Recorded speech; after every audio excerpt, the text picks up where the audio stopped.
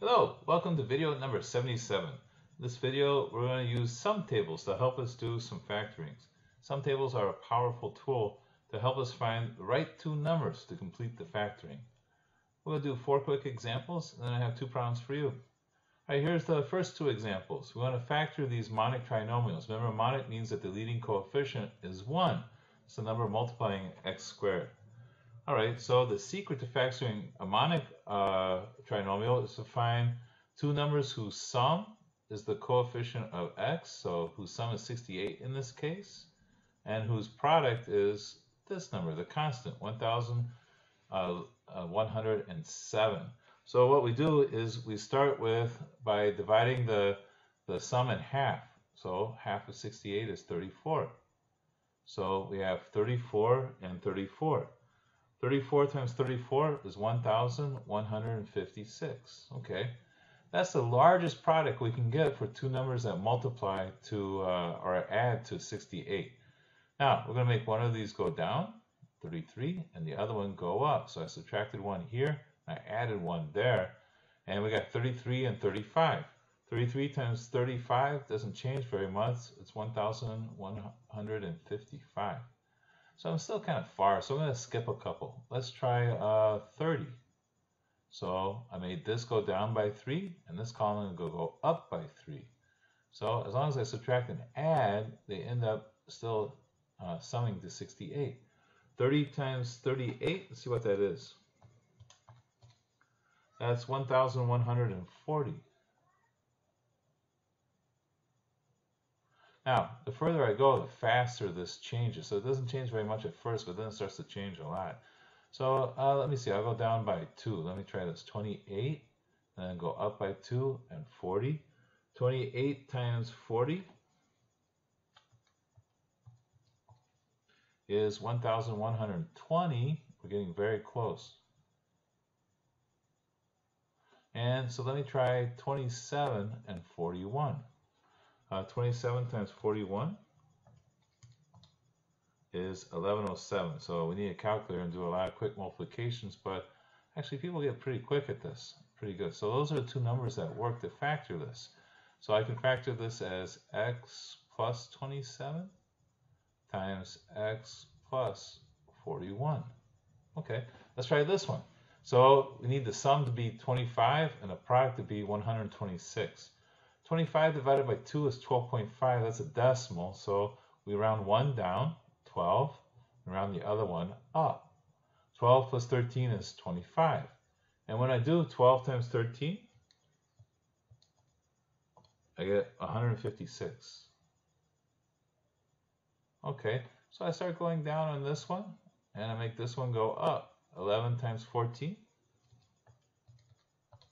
is 154.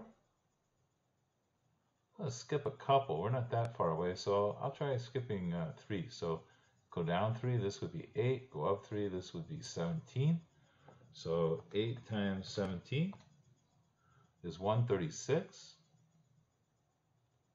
Getting very close. Let me try one more. I'll go down 1, 7. I'll go up 1, 18. And that does it. That's 126. Okay, so this part's the easy part.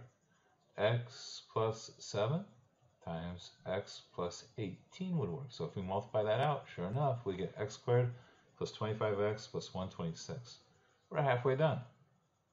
Okay, so I wanted to include some where we start with negative numbers. Okay, so people are a little bit more uneasy about that, but we really kind of do the same thing. Looking for two numbers whose sum is negative 16, whose product is negative, uh, 297. So negative 16 divided by 2 is negative 8 and negative 8. Negative 8 times negative 8 is 64. Then we're going to make one go down and the other one go up. Going down means more negative, so that'd be negative 9. Going up means less negative. That's 63. We're a long way away. I'm going to skip uh, 5. So if I go down 5, this would be negative 14. If I go up 5, this would be negative 2. It's 28.